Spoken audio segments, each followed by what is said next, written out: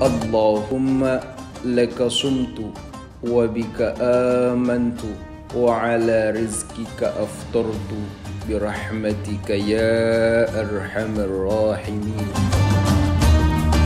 Ya Allah, untukmu aku berpuasa dan kepadamu aku beriman dan dengan rizkimu aku berbuka. Dengan rahmatmu wahai yang maha pengasih dan penyayang.